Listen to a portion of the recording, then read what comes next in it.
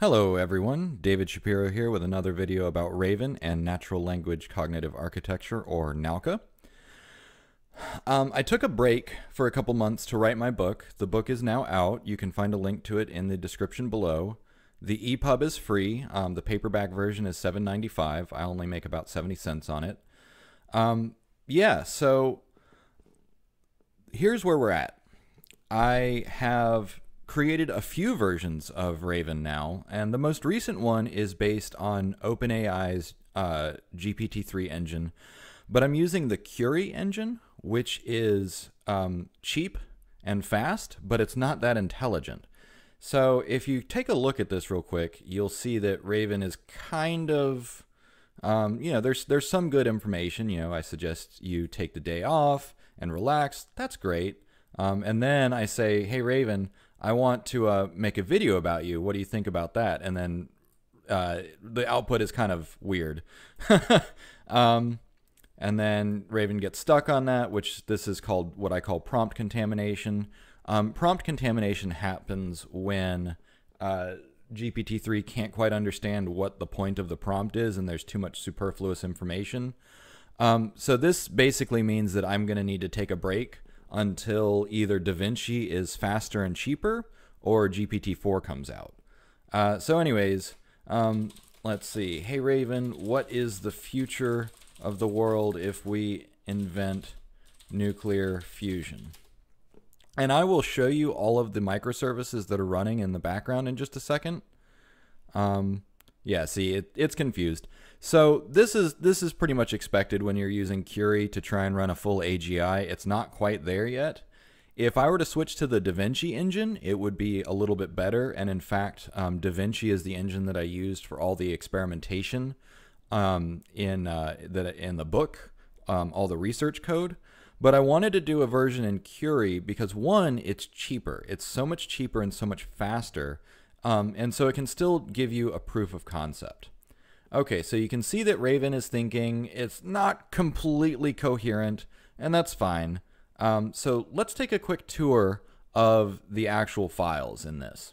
So here is the repository. Um, this code is, is publicly available, um, or at least it will be as soon as I publish this video. Um, there are a few Python scripts, um, and I'll show you each of these in turn. I'll probably um, take a deep dive into the code in a separate video. This is just going to be an overview.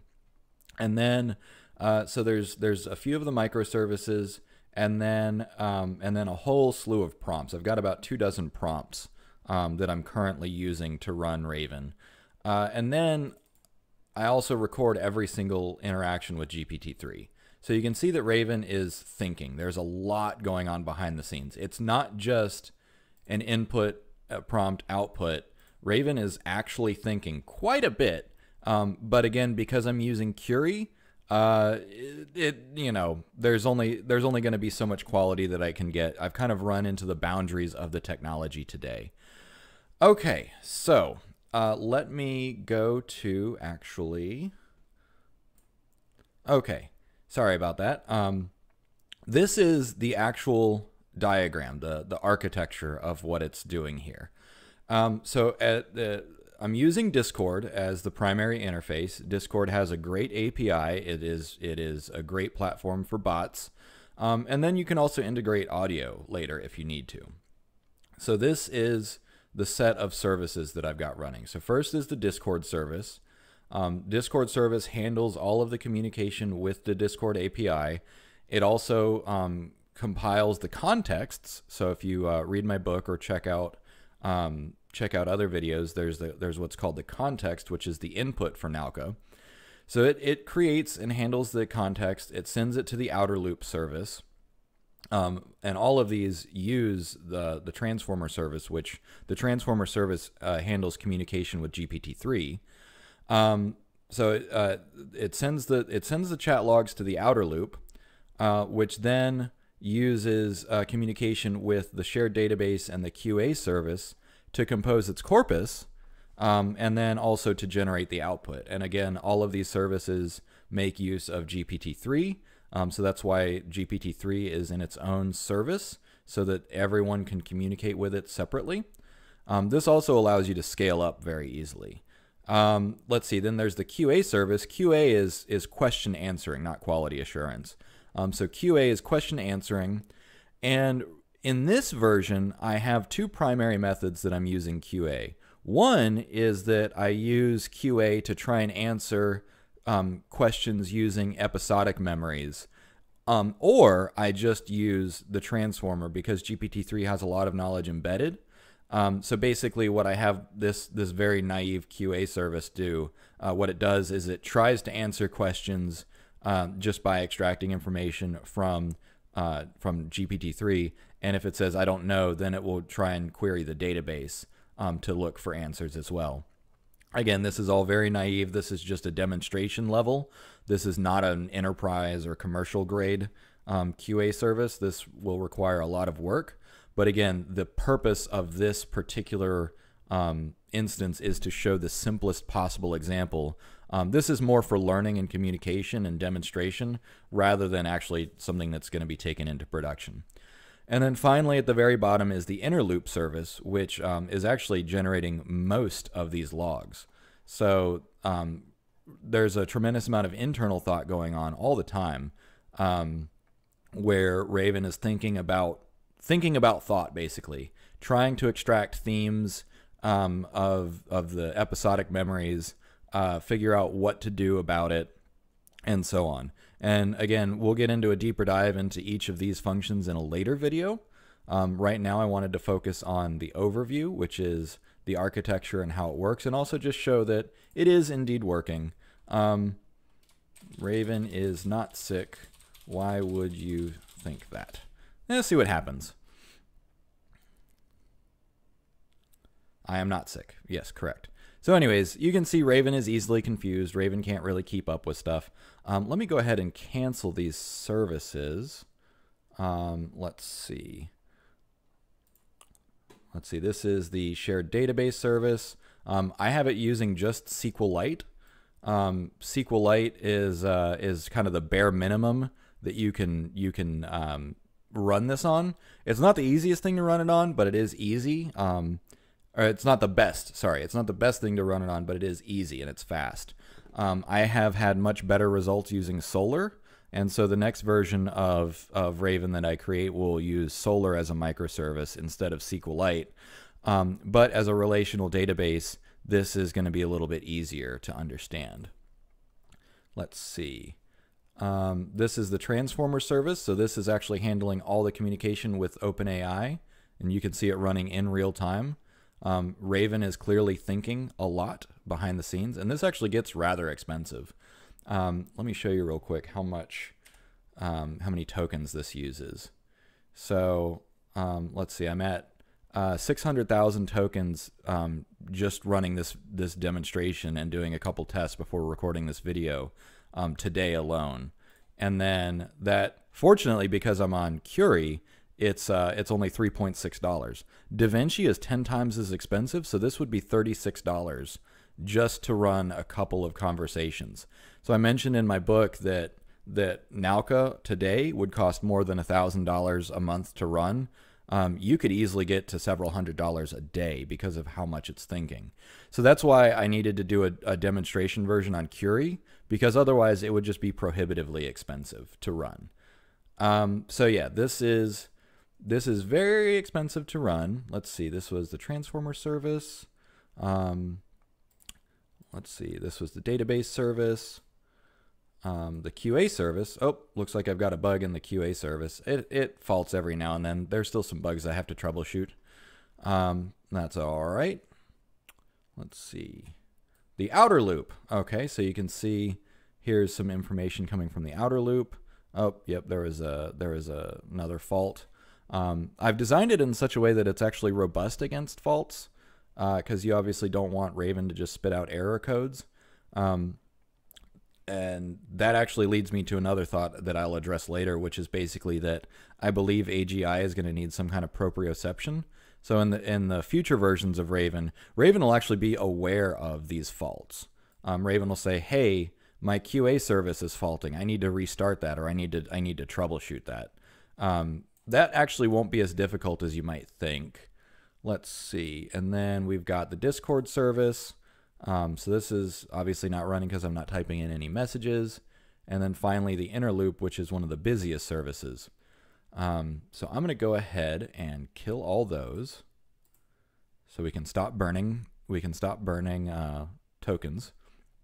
And let's go Let's take a quick high high level overview of these of these uh, microservices. When I say microservices, I mean microservices. Each one is is generally less than 100 lines of code, or about 100 lines of code. Um, so basically, I just have this as a continuous loop. Uh, this is the Discord service, so it it, it talks to Discord, and um, and it looks for incoming messages. Right now, I've got just a few rules to determine whether or not Raven is going to speak. Um, and before, I actually had a prompt to determine whether or not Raven was going to speak. Let me show that to you real quick. Um, let's see, next speaker. Um, so basically, what I was gonna what I was gonna use was actually use GPT-3 to determine to or to predict who the next speaker was. And this works on DaVinci, but Curie is not intelligent enough to handle this. Um, if you take the same exact prompt and switch between DaVinci and Curie, DaVinci performs very well on this um, in terms of figuring out who's gonna who should talk next, um, but Curie can't figure it out. Um, so again, I'm kind of bumping up into technical limitations of the technology today. Um, so I switched from from using GPT-3 to predict who's going to talk to just some basic rules. Um, it's faster, quicker, and cheaper. Um, I guess faster and quicker mean the same thing. Anyways, so very, very bare bones uh, uh, uh, microservice here. Um, then let's go to the outer loop.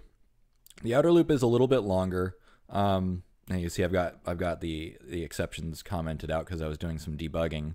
Um, but again, this is this is really simple. Basically, what it does is the primary thing is that it takes the context um, from the from the incoming. Um, pardon me. It takes the context from the Discord service and then runs it through a whole bunch of prompts um, to generate the corpus. And then it also uses um, QA, right? It uses uh, it it uses QA to both generate questions and then also get the answers to those questions. So that's kind of Raven thinking behind the scenes, and that's that's one of the reasons that you see so many um, so many logs being used. So just running for a few minutes, it was probably running. Let's see, I was testing uh, at about 10 a.m. and then uh, a little bit more testing and you see most of these were actually in the last few minutes as I've been recording this video. Um, so it generated more than 500 interactions with GPT-3 um, just to handle the all the question answering um, and the inner monologue that Raven has. Um, so once it does that, it will it will compile everything into a corpus and then use the constitution and output prompts to generate that. And let me go ahead and show you what those look like because um, showing you what the actual end product is will make it make a little bit more sense. Um, let's see. There was a lot of thought going on, so I got to scroll up and find um, a constitution and output. There we go. So this this is kind of the final product of the outer loop. Um, so here's the constitution, which is basically saying, okay, what do I think about this? Oh, see, that was not good. I needed to add a stop there. It didn't get that. Um, oh, this is because it faulted. Interesting. Okay, so even though it was generating faults, um, it still figured out, it still got this far. Um, I think this was caused by the fault in the QA service. Um, anyways, so yeah, it's a little bit embarrassing. That's okay. Uh, the ultimate result is still the same. Scroll down. Raven says, I am not sick. Um, yep. Okay, so by compiling these, I know this is this does not this is not a good look. Um, again, this is this is a demonstration level version, um, and it needs a lot of help. Um, I also need to, to revisit the QA system. Um, I had much better look uh, luck on the QA system when it was based on Solr. Um, so let me go ahead and advance to that, the QA service. Whoops. Um, let's see. Actually, this video is getting a little bit long.